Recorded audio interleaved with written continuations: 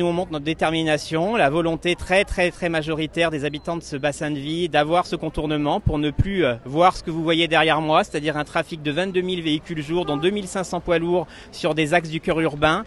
qui bordent des sites emblématiques de notre agglomération, l'hippodrome, le Krebs, le plateau d'économie sportive. Bref, nous sommes la seule agglomération à ne pas disposer de ce contournement, donc on est venu le réclamer, d'autant que l'État l'avait promis en 2004, lorsque Manurin a fermé pour compenser la désindustrialisation de notre bassin.